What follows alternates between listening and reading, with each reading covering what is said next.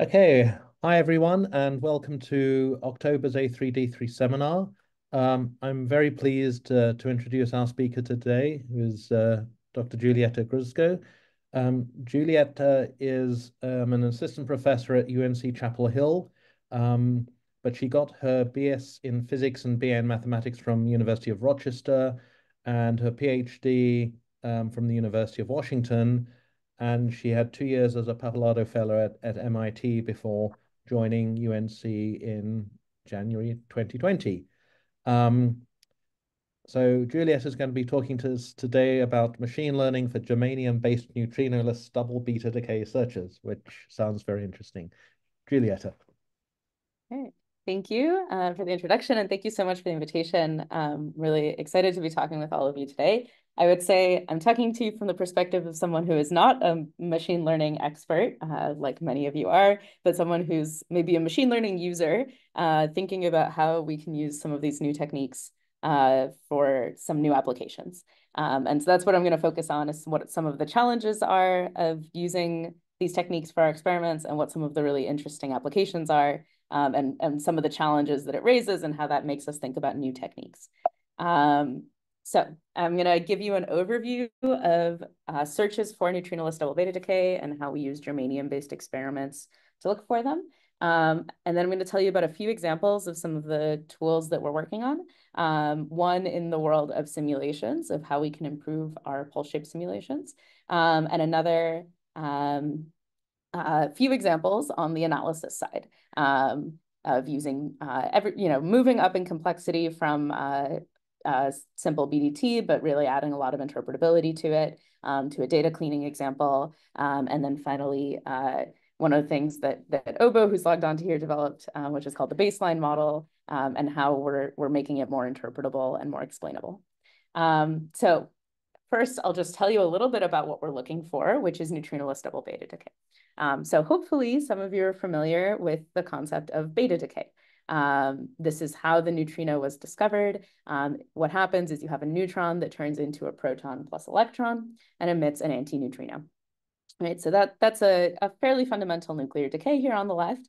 Um, and on the right, what you see is uh, double beta decay. In this case, two neutrino double beta decay. So you have two neutrons that turn into two protons, emitting two electrons, emitting two antineutrinos. Um, and this is a standard model process um, that has a very long half-life. Um, but it is something within the standard model that occurs in a certain uh, subset of isotopes, uh, of nuclear isotopes. What we look for is the neutrinoless version of that uh, double beta decay, um, where instead of emitting two antineutrinos, you would exchange a virtual neutrino between those two nucleons, um, or you can think of it as the two antineutrinos annihilating with one another. Um, this would be new physics. Um, it can only happen if the neutrino is its own antiparticle. Um, and what we call that is the neutrino being a Majorana particle. Um, in that case, you would get two protons and two electrons out here, but no neutrinos. Um, and what that would mean is that we have made more matter than antimatter. We've made an excess uh, fr from two baryons, we've made two baryons and two leptons without any corresponding antileptons. Um, and so this would be brand new physics, um, and it would be a very exciting discovery. And that's what we're going to be looking for. Um, so here's the one sheet on why look for this. Uh, so if we were to discover neutrinoless double beta decay, that would really dramatically uh, revise our understanding of cosmos, of the cosmos. It would show you the lepton number is not conserved. It'd be a direct observation um, that this is not a conservation law. And it would tell you that the neutrino is a fundamental Majorana particle, the only one. Um, it would also give us a potential path for understanding why there is matter-antimatter asymmetry in the universe. Um, we don't know what made the excess of matter over antimatter, and we would like to know. Um, and this would give us uh, a portal called leptogenesis um, as a mechanism for generating that asymmetry. Um, and then finally, it would be a, a, demonstration that there's a new mechanism for the generation of mass. So the other particles uh, that we know get their masses from the Higgs mechanism through interaction with the Higgs. Um, this would be a brand new way to get mass into a particle, which would be the Majorana mechanism. Uh, so all of these things combine to make the search for neutrinoless double beta decay incredibly compelling. Um, it's one of the most exciting things I think going on in the world of particle physics and nuclear physics right now.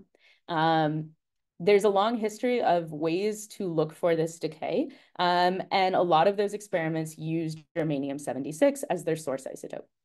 Um, so what you're seeing here in the plot is just a history of the half-life limits as a function of year. Um, so going upwards in this plot means you're searching for this process with more and more sensitivity. Um, and you can see that over the last approximately 50 years, um, a series of experiments have pushed our sensitivity to this process up by many, many orders of magnitude. We've gone from about 10 to the 21 up to 10 to the 26 years uh, over those years. Um, the two experiments here that you see at the end, Gerda and Majorana, are the two predecessor experiments uh, for what I'm going to tell you about today. Majorana is one of the ones I worked on. Um, and then I'll also tell you about Legend 200, which is now operating, and Legend 1000, uh, which we're designing and hoping to build in the coming years. Um, and what you're seeing on the right hand here is just you know, what, what those goals are. We would like to get to 10 to the 27 and then 10 to the 28 year half-life sensitivity. So incredibly long half-lives, incredibly rare processes that we're searching for. Um, okay, so if we're gonna search for a really rare signal, we should talk about what that signal looks like. Um, and here's uh, Feynman diagrams for that same two neutrino double beta decay and neutrinoless double beta decay process. Um, in our detectors, we actually don't measure neutrinos at all. The neutrinos have really low cross sections, uh, so most of the time they just escape. What we measure instead um, are the charged particle energies. Um, so in this case, you know, you get a little tiny amount of energy from the recoiling nucleus. Most of your energy is going in these electrons, right? And the neutrinos escape as missing energy.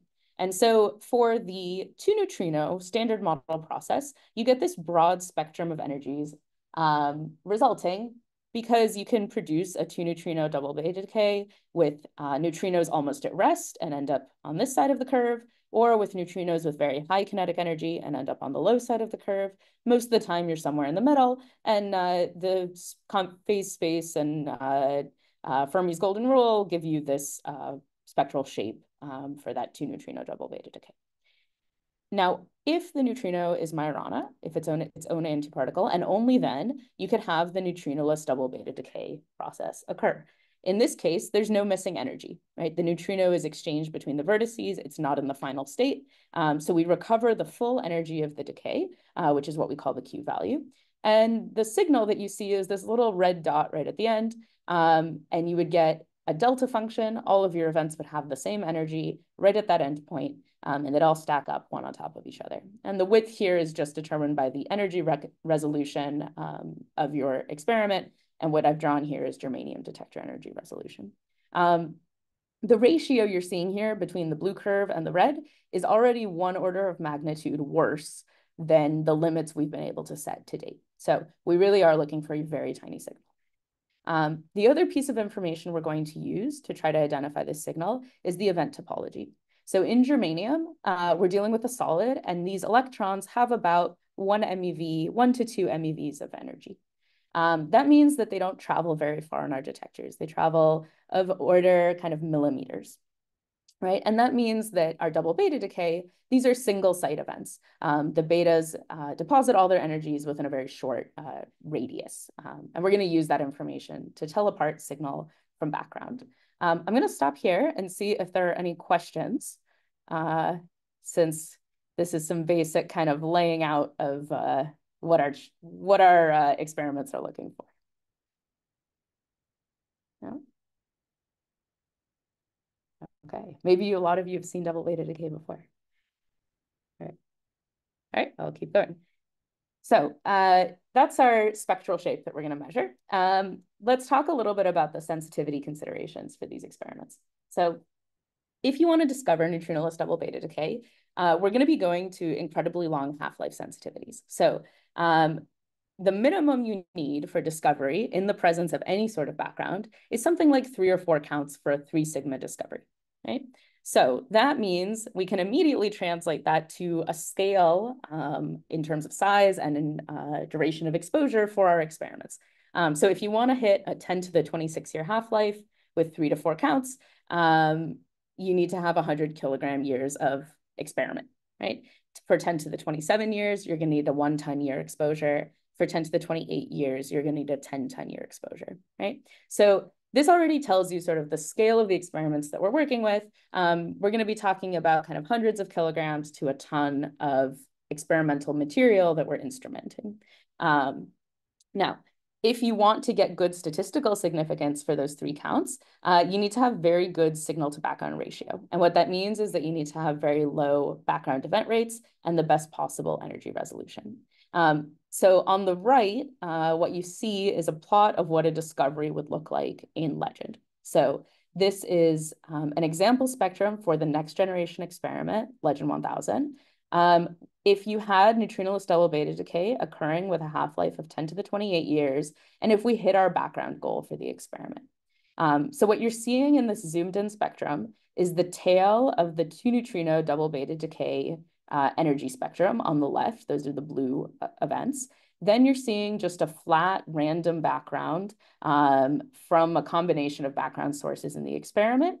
Um, and then you're seeing these red events, which are a peak at Q beta beta, and that's our signal that we'd be looking for. So we know the energy of the signal we're trying to collect, um, and we're simply looking for a peak uh, in that energy window that has these right sort of uh, topological features, right, of being a single site event contained in one detector. Um, so this also shows you a little bit of why uh, germanium is such a compelling way to do these experiments. Um, we think we can hit this background goal. Um, and you can see that because of the good energy resolution, um, your two nu beta beta stays well away from your signal region, um, and you don't have any background peaks in the region of interest. Um, so there's nothing overlapping the signal that could fool you. Um, so uh, at every sort of generational stage, these germanium experiments try to design for what we call unambiguous discovery. Our goal is to have uh, backgrounds much less than one count um, after the full operation of the experiment.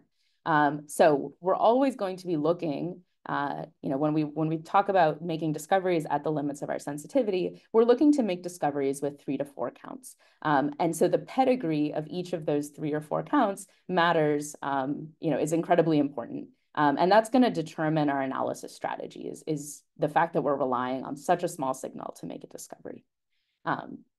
So just a word more about backgrounds and why they're so important.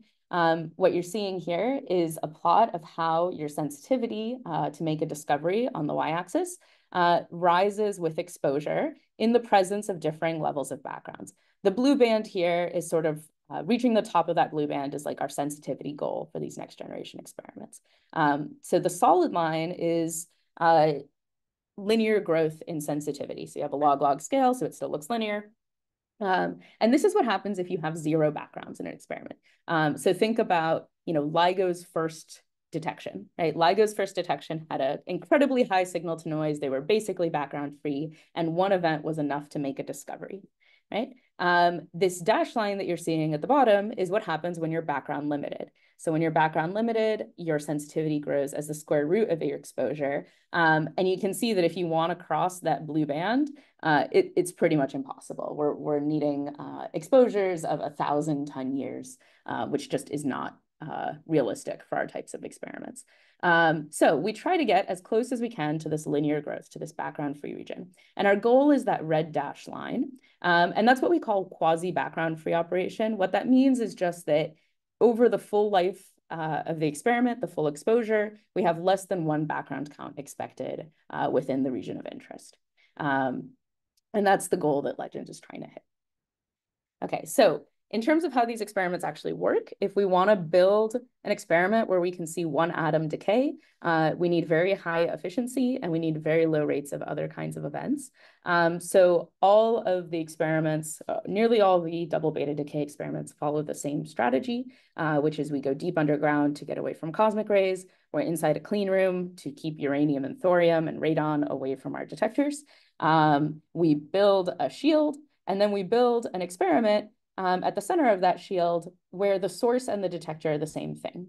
Um, and that gives you that high efficiency and helps you reduce the backgrounds. Um, and then you wait for your detector to decay um, and you measure those signals and that's where your uh, potential discovery will come from. Um, we also want to use other this other topological information um, to, to know what's signal and what's background. So in our double beta decay, these two betas go off uh, with a one to two millimeter distance within a solid state detector, like a germanium detector. Um, and our, a lot of our backgrounds are coming from gammas. Um, and at these energy ranges, um, gammas tend to scatter. They, they, their most probable interaction is a Compton scatter. Um, and those scatters can be separated by several centimeters um, of distance. And so uh, you can tell the difference here by having a single site versus a multi-site event projection. Of course, something dangerous can happen, which is your gamma can scatter in your detector and then scatter in some material that's not your detector. Um, and here uh, you could end up with something that looks like a double beta decay event, right? We'll get back to that in a moment. The other type of backgrounds that we worry about are backgrounds from alphas and betas. These tend to be mostly surface events um, in our detectors. The, the, the, bulk of the detector material is incredibly pure, um, but alphas can penetrate some of the surfaces. They, they only go in about 10 microns. Betas can go in one to two millimeters um, and can penetrate most of the surfaces. So if we can use the event location, you know, tell whether an event occurred on the surface or in the bulk of the detector, um, or tell whether it had multiple sites or one site, uh, we can use that information to reduce the backgrounds.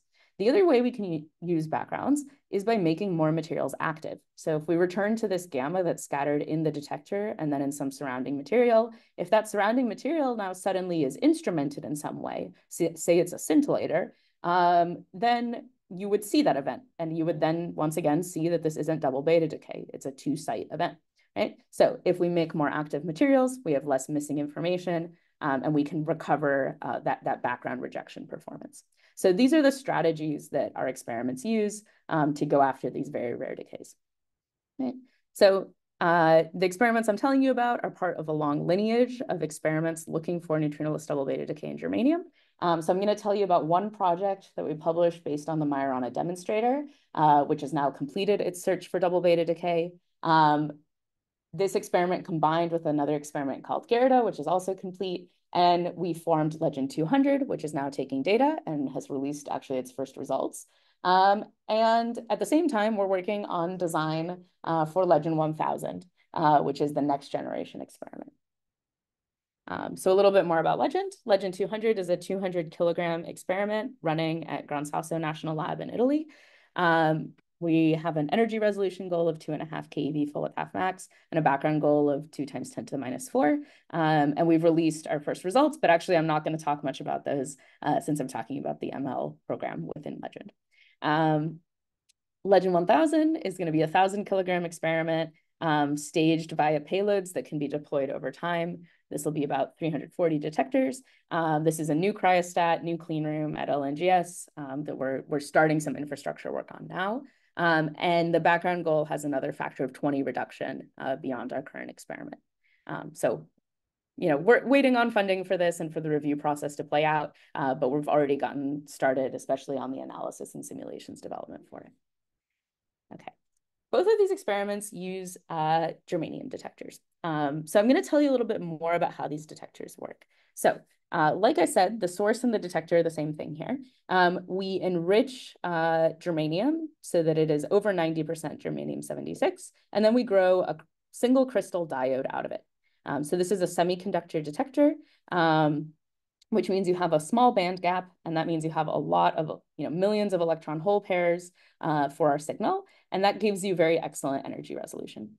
Um, and the integrated current of the signal that you see as these charges drift through the detector is going to be proportional to the energy deposited in the detector. Um, one detail here, and oh, on the right here, what you're seeing is a picture of a detector with person's hands and some calipers for scale, so you can see sort of what we're talking about here. These detectors are about three kilograms each. Um, and yes, that's a, a, single crystal diode that is about three kilograms. Um, there's some details here, which is uh, we've made a detector design um, very specifically to help us reduce the backgrounds. Um, and in this design, uh, which is called a point contact style design, the pulse shape that you get for an event is highly dependent on the position. Um, so here's a couple of examples of that. So on the left, what you're seeing is a neutrinoless double beta decay candidate where you have a single site event, right? The event occurs somewhere inside the crystal, the charges, the holes and the electrons begin to drift in the electric field. Um, and what you see is the induced uh, voltage at the readout um, here at the point contact. So that's what's being drawn on the left. uh, sorry, on the right here. So the blue curve is our induced voltage, and the orange curve is the current at that point in time. Um, and you see that because uh, the charges are all drifting together, they all started at the same point, um, you see sort of a single rise in the signal and a single peak in the current. On the right, what you see is a gamma background event where you have scatters in multiple locations. Right? So here we have charges, the same amount of energy is being deposited, but our charges are split between two different sites. Um, and because the beginning of this charge drift um, is slow and the charges have very different lengths that they need to drift, we see that those charges arrive at the point contact at different times. And that creates this double pulse structure um, and two peaks in our current. Um, and so a lot of our background rejection techniques rely on analyzing the waveform shape to tell apart signal from background using um, those kinds of traits.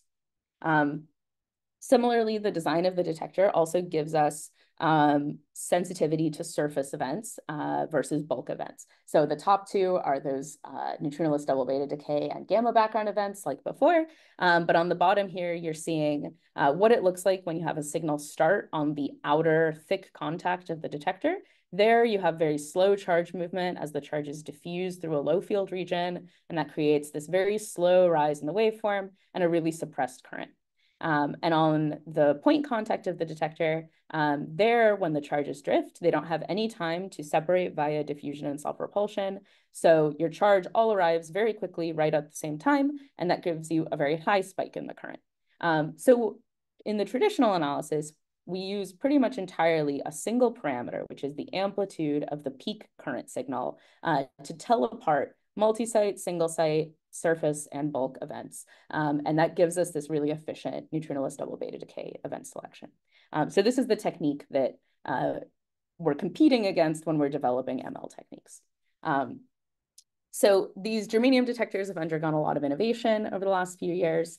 Um, a semi-coax detector, if you've ever done anything with a germanium detector, this is probably the type of detector you've used. These are large mass, but they don't have this very sophisticated uh, pulse shape variation uh, uh, feature. And so they're not very good for background rejection. Uh, then we went to these small point contact style detectors. And now for Legend, we've developed new larger point contact detectors. Um, so these have excellent background rejection with traditional methods and larger masses. Um, and this is where most of our attention is focused.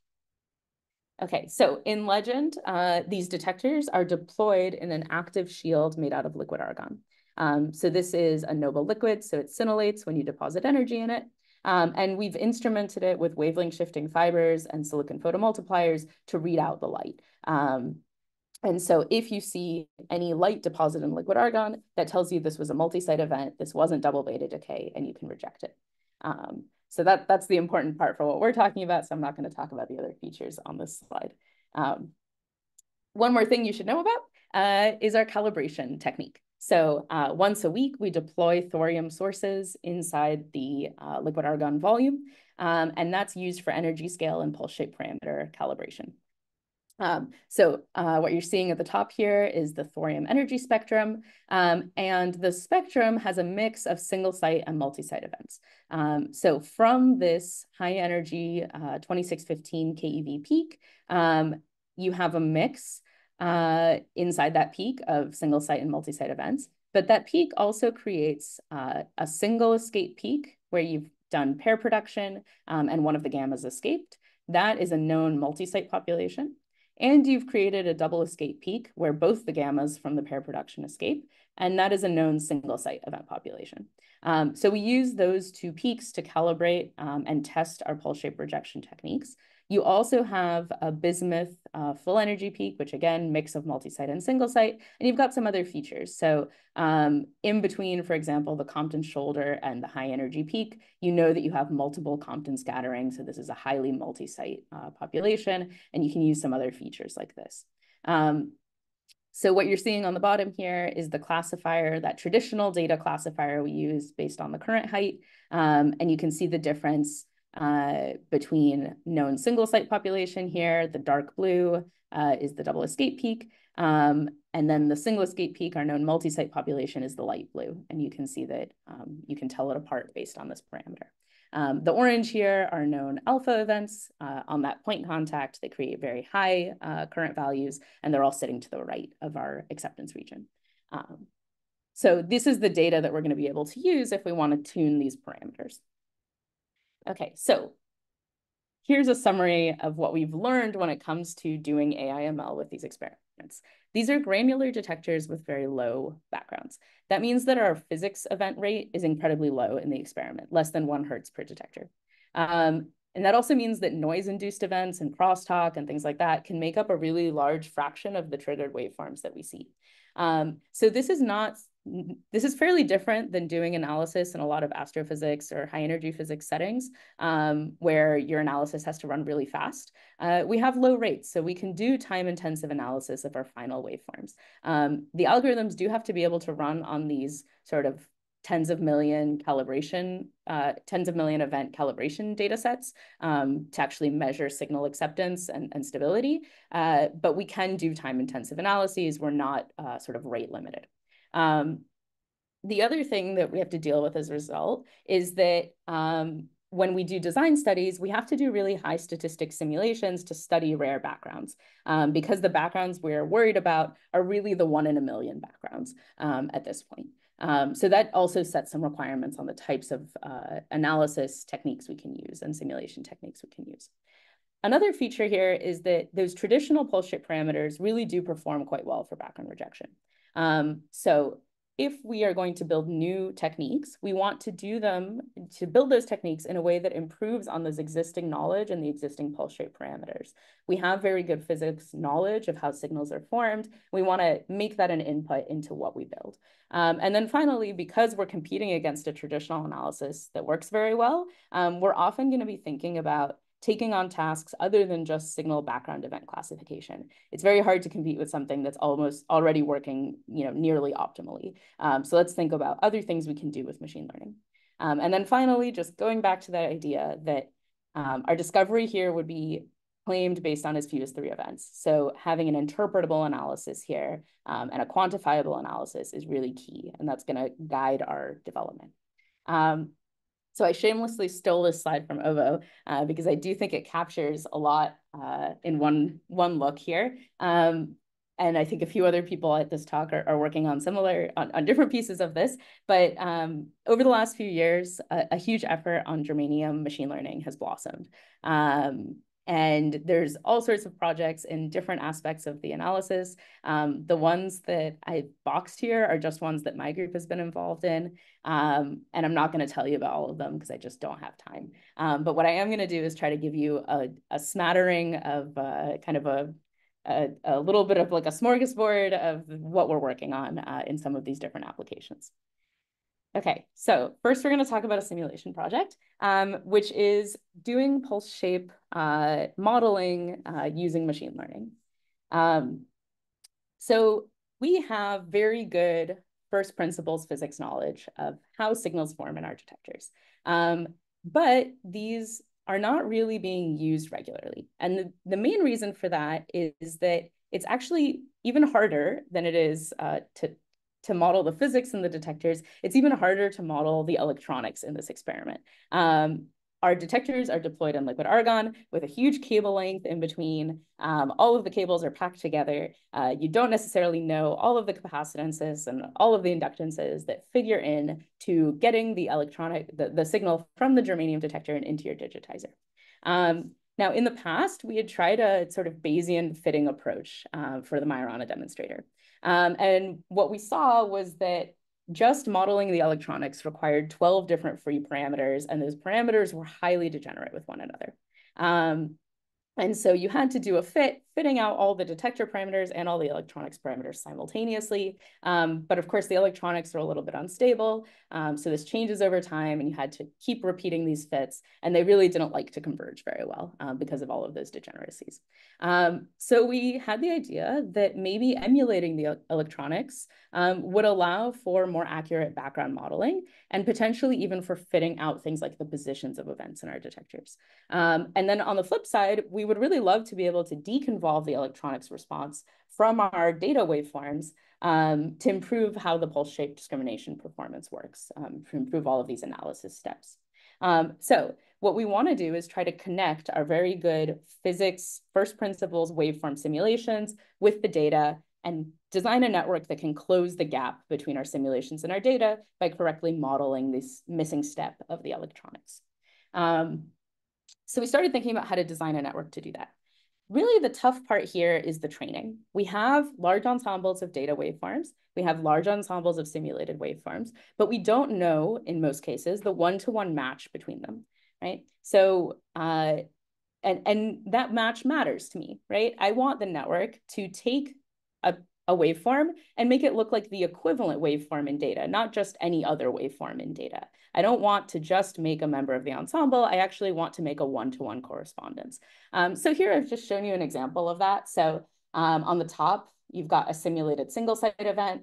On the bottom, you've got a simulated multi-site event. If our network takes that multi-site event and makes it look like a single site data event, I don't want that. That's not useful to me, right? I want my network to keep my multi-site event multi-site with the same, you know, the same position that it originally had. Um, and I want it to keep my single site event single site, right? So I want to make sure I'm following these purple arrows and not the pink ones. Um, so uh, the breakthrough here came by deciding to use what's called a cycle GAN. Um, so many of you might have heard of GANs, but may not have heard of cycle GANs. So a GAN is a generative adversarial network um, where you have a generator and a discriminator being trained off of one another. Right? So as the generator improves in imitating uh, whatever population you're trying to model, the discriminator can still, as long as the discriminator can still tell them apart, the generator has to keep improving. Uh, once the discriminator starts to fail, you know, it starts to fail, that then the discriminator has to start getting better, right? So they train off of one another um, and, and force each other to improve. Um, now, that GAN technique only does ensemble matching, right? To get this one-to-one -one match matching, the cycle GAN adds an extra cycle, right? So we start from our uh, one of our populations, we model uh, using this first generator into the other population. And yes, you have to check whether that looks like a valuable member of the population, but you also have to be able to translate back with a, new, a second generator and check that you've translated back to the correct event. So in this example here that I'm showing on the upper left, if I take this simulated waveform, make it look like data, and then go back to simulation, it has to come back to looking like itself. It can't come back to looking like this multi-site event um, because I have a loss term preventing that from uh, looking like something that's working uh, for my network. So you end up training two generators and two discriminators simultaneously, um, one for the forward direction and one for the backward direction. Um, so actually we solve both you know, both directions of problems here, make simulations look like data and make data look like simulations. Okay, uh, now we actually need to choose what we're going to use as our generator and discriminator for this technique. For the generator, we went with a 1D U-Net, um, and we added a positional encoding um, that's inspired by transformers so that it sort of cares whether the waveform, uh, doesn't care whether the waveform is shifted within the window, right? Um, because a waveform slightly to the right or slightly to the left is actually the same waveform. Um, then for our discriminator, we're using an LSTM that has an attention mechanism built in. Um, so this is just a recurrent neural net with a score function on each of the nodes that allows it to put extra weighting on particular parts of the waveform, um, depending on the application you're doing. Um, and, and that's a, a, those, those weights are another parameter of the model that gets toned. This was originally designed as what we called our legend baseline model. So a model that does waveform analysis for lots of different purposes. Um, and so it's pretty well suited to be able to tell apart, you know, simulated from data waveforms. Um, we do have plans here with the generator. We'd love to put in a physics-informed generator network in the future that actually has something more like a real electronics model in the back end. Um, but that's sort of uh, ways away still. Okay, so here's what uh, preliminary results look like from this. Um, and they're looking pretty good. So here's our simulated input waveforms, um, our output after simulation and emulation. And you can see that by eye, it looks pretty good uh, compared to our data target. Um, on the bottom, uh, what we have are a couple of the different pulse shape parameters we're using uh, to check how this is performing. Um, so one of them is, for example, the slope of this RC decay tail um, and the uncertainty in it as we start adding noise to the model. Um, so uh, this vertical line that you're seeing is our simulated data sample. Those don't have a decay, so all of their tails are flat. Um, and our data has this uh, distribution shape in blue. Um, and after we run it through the model, uh, our output waveforms have the right spread um, and right uh, slope of their tails. Um, on the left, the plot here is the current amplitude maximum. So that pulse shape discrimination parameter that we use in the traditional analysis. Um, and you can see that our simulate, simulated inputs, their, their pulses are, are rising too quickly because they don't have the bandwidth of the preamplifier applied that slows down those pulses. Um, and then after coming out from the model, uh, the shaded output here, um, you can see that it's shifting down the speed of the pulses um, and spreading it out to align it better with our data. Um, so it's not perfect, but it's looking a lot better. Um, what we decided to do next, so, so there is a workshop paper from uh, NeurIPS uh, Machine Learning in the Physical Sciences workshop uh, that you can see at the link there. Um, and we're also doing uh, a lot of validation studies at the moment. So right now we're using kind of a pure simulation-based study where you can do waveform by waveform comparison. Um, so we're applying an extra electronics effect and then seeing if our machine learning network can, can responsibly emulate it and, and correctly emulate it. Um, and so that's where we are at the moment. Uh, we're seeing something that I think I'd been warned about, but uh, hadn't quite appreciated, which is that cycle GANs can be quite tricky to train. They have a lot of instabilities. And so when we changed, you know, the structure of the incoming data um, in terms of, of putting in some existing electronics effects that we already knew about, uh, we've had to kind of retrain our hyperparameters to get that C that cycle GAN working again. Um, so, you know, that is the downside of the cycle GAN. It's a fairly complex network structure. It takes a little bit of, of tweaking to get it working nicely. Um, our next step after that is going to be to do validation with a scanning system where we're actually using real location tag data from the detectors. Um, I'm excited to see how that's going to go. But uh, this is a technique that we're already uh, digging into here and seeing that it's producing some interesting results. Okay. Next, I'm going to tell you a little bit about, about some analysis. Um, I am, do you guys like to end right at the hour? I think I might skip. No, the idea is if, you know, uh, maybe another 10 or 15 minutes and then it gives us time for questions. For Great. So I'm going to skip the BDT uh, because we have a published paper on it. Uh, so if you'd like to know more uh, about this interpretable BDT project, I encourage you to check out um, this link. Uh, since that one's published, I'm going to spend less time talking about it because you can go to the paper and ask me questions about it. I think BDTs are a, a fairly, you know, they're a very well-established technique, um, but we've done some things that I think are pretty cool on the interpretation side, um, and that's really what we focused on in the paper. Um, but instead of that, I'm going to talk about some new projects. Um, so I'm going to tell you a little bit about our semi-autonomous data cleaning. Um, this is a paper that should be coming out on the arXiv very soon. It's already submitted, but uh, being held up, I think, because of a flood of uh, large language model fake papers that they're trying to sort through. Um, so uh, the motivation here is that traditional data cleaning is quite a painful process. Um, normally, you have to develop parameters for every new type of uh, noise or anomalous event that you see. Um, what we wanted to do was develop a method that adapts to changing run conditions, allows you to identify new populations during uh, detector commissioning, and is a flexible framework that you can use in lots of different detector experiment, you know, detectors and experiment setups. Um, so uh, what we decided to do was build a, what we call the semi-supervised network. Um, what we mean by that is that we're going to start by extracting pulse shape information from the waveforms. We're going to group and label similar waveforms with an unsupervised learning classification step. And then we're going to uh, have a human come in, do some interpretation on those unsupervised learning uh, steps, um, and you know, label those waveforms based on our intelligence of what we want uh, as normal events or different types of anomalous events in our in our sample. Um, and then we're going to extend those classifier results with a supervised learning model uh, once we've got that human input. Um, and then finally, of course, we're going to analyze the results. Um, so our first step here is the information extraction. We start with our inf initial informations, uh, initial waveforms, um, but these are, are fairly long and they're highly sam you know, the, the sampling is very uh, fast sampling in our data acquisition. So there's a lot of information here. We don't need all of it. So what we do first is we do a wavelet decomposition, which is like a time-sensitive Fourier transform, um, and it downsamples the waveform, uh, and we choose a wavelet shape based on our signal shape. Um, and so for us, that's a Haar wavelet, which is like a step function. Um, and we're going to use these approximate coefficients here uh, as the waveforms that we're going to be running our, our machine learning on. Our next step is to use affinity propagation. So this is a type of clustering, uh, unsupervised learning clustering algorithm. Um, it's a little less common than something like DBSCAN. Um, but one of the things we liked about it is that it returns an exemplar from each cluster. So it automatically clusters your events, uh, computes a number of clusters based on the distribution of the data, and gives you sort of a prototypical member of each of those clusters as a representative. Um, and that's going to be really useful for our next step. So we train on 10,000 waveforms um, to obtain exemplars from those approximate coefficients. And we end up with about 100 clusters, um, each represented by an exemplar.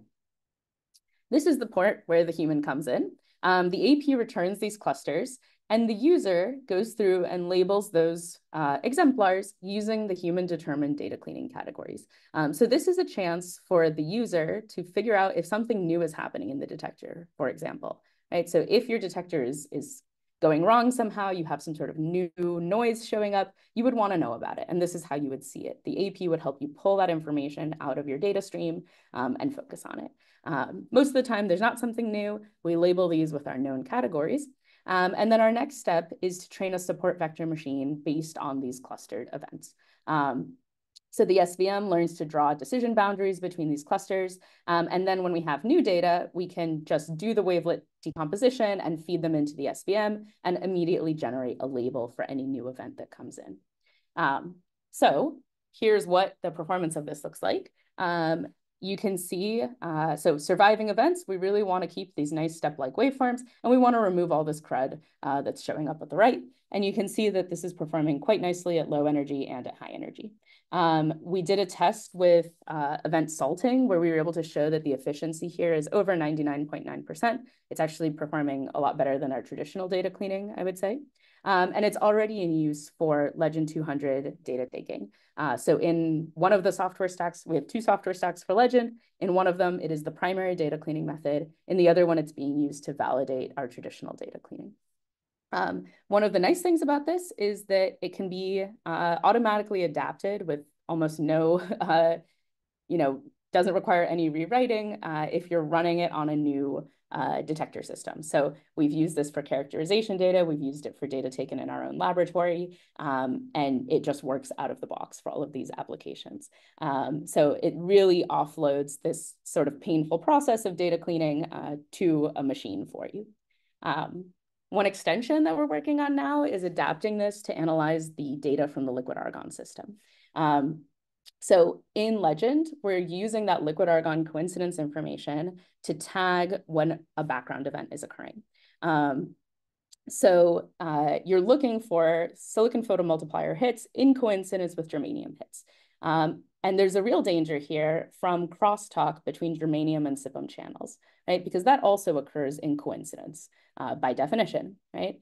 And if you have a crosstalk event that you've accidentally missed labeling, um, and it has a non-zero integral or a non-zero uh, amplitude, um, you're going to count that as a photon in the liquid argon system when you shouldn't have. Um, and that's going to keep us from being able to lower our threshold for looking for tagging backgrounds. Um, and we, we think we understand where these are coming from. We have an ultra low background cable um, that doesn't have a lot of shielding between the, the SiPM readout and the germanium readout, and crosstalk is happening in that cable. And you can see here two examples. Uh, on the left, you've got a true coincidence with the germanium and the SiPM pulses, um, and you get two photoelectrons that are sort of occurring right in the time where you expect them to. Um, and then on the right, what you're seeing is a sample crosstalk event. So it's germanium in the SiPM, you've got this crosstalk blip with a different waveform shape, but uh, if you're just doing a time amplitude analysis, this would look like a signal uh, a coincidence signal. Um, and so this is quite dangerous. So we'd like to develop a better technique to tag this SiPM crosstalk. Um, here's why that's a little bit difficult. Um, the SiPM, normally crosstalk depends on energy or amplitude. Uh, in this case, though, the SiPM crosstalk varies with the germanium waveform current. Um, and that means that the crosstalk looks different for single site and multi-site events uh, in the germanium detector. So it's not a consistent signal shape. Um, So you can see an example here. These are two different alpha events. One has lower energy, but a faster rise, and it leads to larger crosstalk than the slower but larger event in the orange.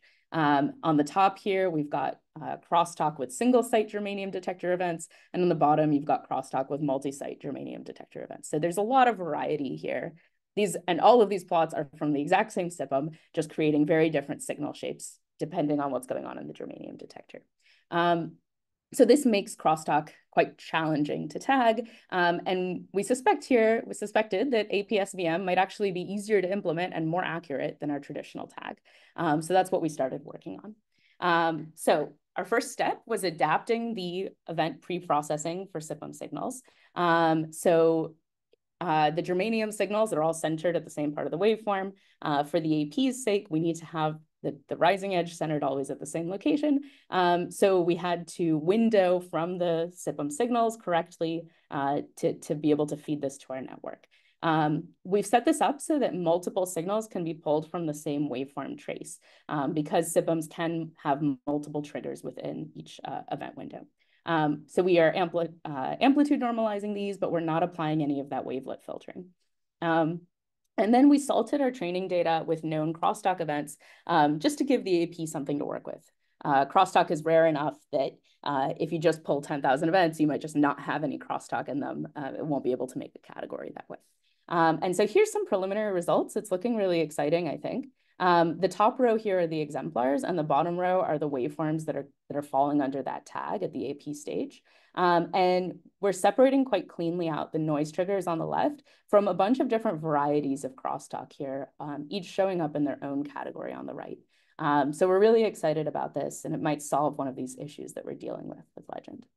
Um, I am 10 minutes left, so I'm going to wrap it up pretty quickly. Uh, maybe I'll give a really quick pitch for this feature importance supervision um, as the last thing that I'll tell you about.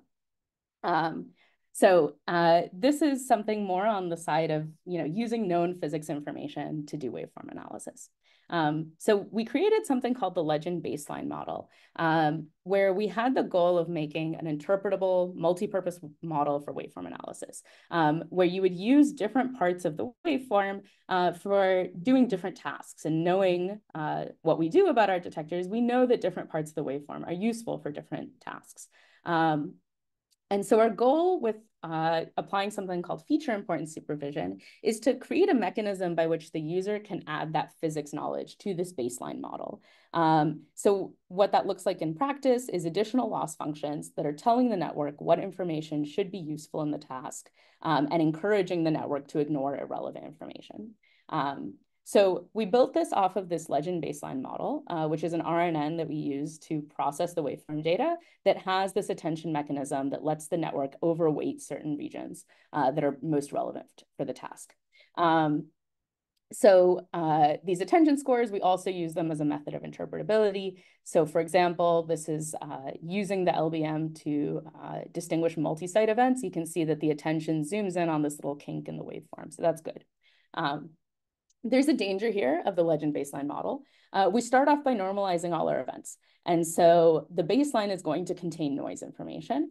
Um, and you can end up introducing an energy bias. Um, so feature importance supervision uh, is a mechanism to counter it. Um, so what you do with feature importance supervision is you're going to add extra terms to the loss um, that force the network to look only at the relevant parts of your uh, data.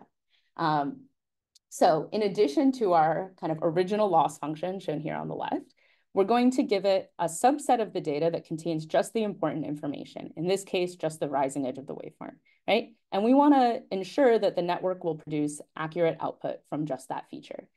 Similarly, or, or, sort of the opposite, if I mask that relevant information and give it only irrelevant information, it should produce random output. If I add random irrelevant information to my relevant information, it shouldn't perform any better, right? And then we've actually added one more term here, uh, which is our human uh, interpretation of what features should be important. So this is um, on the um, uh, model attention. We would we think the model attention should look like this at the end. So we're we're actually uh, adding an extra term here to sort of encourage the model attention to do uh, what we think is the right thing to do. Um, So we did a first test um, of this technique um, to do multi-site event rejection. And we also went ahead and tested whether it was creating bias uh, based on energy.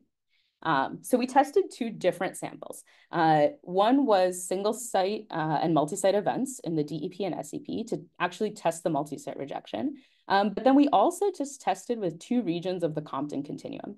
These, in terms of their event topology, should look exactly the same, but they're different in energy. So if our network is distinguishing between these two different energy windows, we know we're developing an energy bias. Uh, so what we really want is the event, the network to not make any distinction, uh, to, to do random classification uh, for that Compton continuum sample. Um, so on the top here, you get the results of the actual multi-site event rejection. Um, adding the RNN with FIS, this red curve, uh, performs uh, as well or a little, actually a little bit better than our traditional multi-site rejection. Um, and you can see that without the FIS, the RNN appears to perform really, really well, right? But then when you dig into this energy dependence, you see that that's because it's creating a huge energy bias. That's what we're seeing with this orange curve deviating from that random knowledge, right? Um, whereas by adding feature importance supervision, we're able to recover that flat uh, inability to distinguish based solely on energy. Um, so we're eliminating the bias. And when we look at the resulting spectra, we see something really similar. So the orange here is our original RNN, and you see, uh, sorry, the green here is the original legend baseline model, and you see this huge tilt in the spectrum, which is that energy bias coming into play. Now, uh, by adding the FIS, we go to the purple, we recover the correct shape for the spectral shape, um, while still keeping really good performance on multi-site rejection. Um, okay, running out of time, so I'll just make one quick pitch here. Uh, we are always looking for new folks interested in joining this team. I don't think we have any undergrads present, uh, but we're always looking for new grad students. We're also currently hiring a postdoc, so if you're looking for a postdoc, get in touch. Um, and I'll leave you here with my conclusion slide and not take up any more time. Thanks. Great. Thanks very much, Juliette. That was that was really good. Um, I, what surprises me is actually conceptually how much similarity there is between what you're doing and what we do with multi-messenger astronomy. Um, yeah. in terms of you know low rates, but but also a, lot of overlap. Anyhow, uh, I'll open the floor to any questions from anyone who's still on. Aobo. Yeah, very nice talk, Julieta. I'm very excited to see this uh, um, cross SiPM, SiPM crosstalk uh, application of the AP-SVM model. So uh, I, am wondering, did you show the all the exemplar that has been learned by the algorithm? Because I only saw yeah, one, so, basically. Yeah, so I don't have, I, I can show it to you later. I'll send it to you if you want. Uh, okay. so I don't have the full plot of all the exemplars. Um, honestly, with the exemplars there, the SiPM data stream has a lot of noise in it. So we see a lot of different noise exemplars, but we are also seeing these crosstalk exemplars being pulled out. Um, and our normal pulses. Um, so that this is kind of a nice technique actually, because our different SiPMs actually create different signal shapes. So we'll end up with different exemplars for different SiPMs showing up. Um, and that's actually totally fine within this AP-SVM framework. Okay, thanks for the clarification. Yeah, very nice result do you then use those exemplars to as as feedback to try and remove things in the data pipeline? Then this is a known artifact and yeah.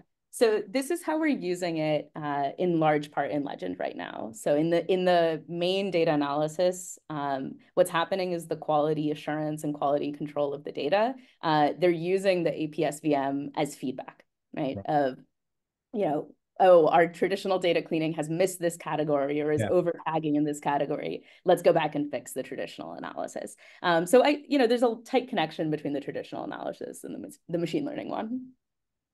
Yeah. Uh, that, that's really cool. Yeah, I like that. Um, Yanina? Uh, yeah, very nice talk. Um, I also wanted to ask on the data cleaning, are you, um, uh, so you said it's unsupervised, um, how often do you repeat the training? Yeah. Uh, so at the moment we're retreating, uh, we do, we split our data into periods, which are times separated by hardware changes in the system. And that's when we're doing retraining, um, is once a period. Uh, now, in the future, I think one of the things we're looking at is whether we can add it to our data monitoring screen that mm -hmm. any shifter is looking at. Um, and then we would retrain more often to use it as sort of active monitoring if new anomalies are showing up. Wow, that sounds pretty nice. Thanks. Okay, any other questions from anyone? Nope. Okay, thank you again so much, Julieta. This was really good. Thank you Um, all for your time. And we'll look forward to next month's talk. Um, I think it's November 20 something, but look on the on the schedule, please. Okay, thanks all. You all.